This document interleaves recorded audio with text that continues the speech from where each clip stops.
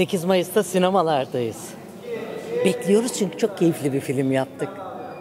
Gelin olur mu?